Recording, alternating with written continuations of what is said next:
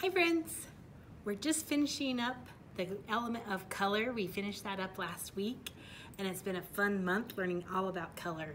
And we've learned so many great things about color. Warm and cool colors, primary colors, secondary colors, how to mix colors. It's been so much fun. Now we're gonna start a new month and a new element of art. This month in art, we'll be talking about the element of texture. Texture is a really fun element. We're gonna learn a lot of good things about it and we're gonna learn how to use it in art. So come with me, let's learn a little bit about texture. Okay friends, here's our poster about texture, the element of texture. Let's come a little closer and see what it says. Texture is the feel or look of the surface, rough, smooth, grainy, lumpy, etc. Textures can be actual or implied. Texture can add visual interest and variety to a piece of art. So let's take a look at this statue. This statue right here that looks all bumpy and lumpy is actual texture. It means, actual texture means that the artwork has a texture that can be felt with the hands. You can actually feel that it's bumpy with your hands. Now take a look at this rabbit right here. This rabbit is implied texture. It means it's illusionary. It appears to have a texture, but in reality, it is still smooth to the touch. That rabbit looks fluffy and soft and furry, but if we touch it, it's just a painting of a rabbit. It's just a picture and it's smooth because it's on paper, so it's not rough. And if we actually touch the real painting of the rabbit, it would probably be smooth. But if we touched this, if this was real in our classroom and we touched it, what do you think it'd feel like, this statue right here? Yeah, it'd probably feel really bumpy and scratchy. So some works of art have both. Some pieces of art, such as this self-portrait by Vincent van Gogh, implies both actual and implied texture. In this example, he used thick paint called impasto that can be felt. So when he painted this picture of himself, his paint was so thick it was like toothpaste. He squeezed it out of a tube and then he painted it so it actually dried hard and bumpy. And then he has implied texture because it looks like his hair is slick and smooth back. So he has both implied and actual texture. All right, friends, we're going to make some texture projects. It's gonna be a lot of fun. Let's get to it. Okay, friends, for this project, you get to choose your leaf if you want this leaf that's on yellow or this leaf that's on orange. Then we're gonna have a couple sticker leaf, pretty leaf stickers that you get to use. And the other thing we're gonna use is these watercolor oil pastels. All right, so I'm gonna try this yellow. And one more really fun thing that we're gonna use for this project because we're learning about textures is I have these really cool black plastic bumpy things. And these things are called texture plates. And they're just to make texture. And I'm gonna show you how to use these. They're super fun. So you get to pick one of these that you want to use. And I think I'll just use this one that I've shown you guys. And then what you're gonna do is put this on your table, on your table, then put your paper over it. And hold your paper so it doesn't slide around, like kind of push it down with one hand.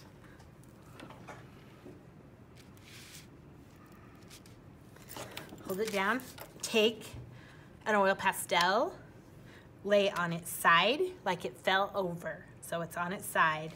Then you're gonna push it over your paper. And guess what, friends? The texture underneath is going to show up on your leaf. Make sure you hold it so it doesn't slide around. Even if it slides around, it will still make really cool textures. So I did that one, and I'm gonna get another color. I'm gonna put some light orange. You can do it with all the colors if you want. Maybe some red. I like doing multiple colors. See those cool textures that you made from the texture plate underneath? So what, this is called a rubbing. What is it called, friends?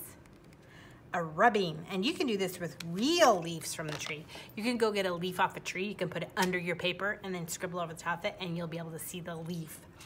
So see how this made the same pattern on top of the paper as was on the texture plate because it's bumpy and we did a rubbing. We rubbed the pastel over it.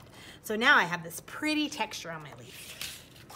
And the next thing we're gonna do to add texture, one way you can add texture is by doing a rubbing. Another way you can add texture is by gluing or sticking things onto your paper. So you add some texture to it. So you guys can pick out of this bucket, you can pick three leaves. How many friends? Three and you can only pick one that's shiny and glittery. You can have one glittery leaf and two plain leaves that aren't glittery. But altogether, that's three. One glittery, two plain. All right, friends, so I'm decided I'm going to pick this red glittery leaf to put on my leaf. And I think this orange one and probably this green one. And then you can put them anywhere you want on here. You just peel the white part off. And then this is going to be sticky and you can stick it right on and it's adding, feel what this feels like. I want you to think about how this feels where you did the rubbing and I felt this and it feels waxy. Kind of almost a little bit sticky. That's kind of how oil pastels feel. This that I just put on, super soft and smooth and a little bit squishy. I love foam, foam leaves. Peel this one off.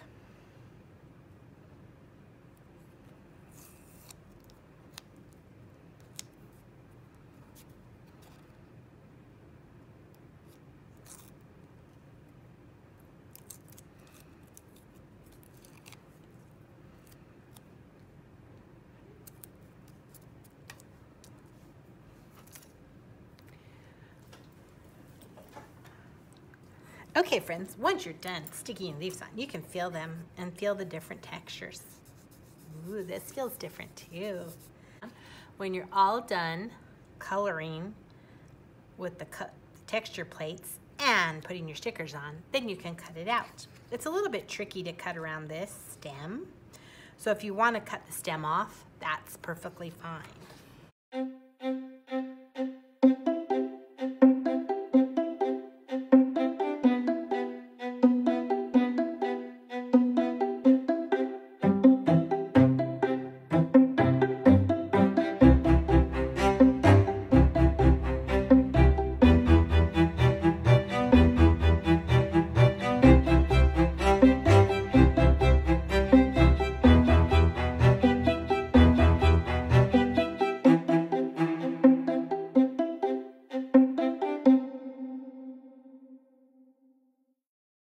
Okay, so if it's too hard to cut around this little stem, you can just cut it off because it is kind of hard to cut around. Still looks good, right? Okay, friends, there you have it, our beautiful textured fall leaf. Don't forget to put your name on it. I want to put your name on the back. Then you can take it home and enjoy it for the rest of fall.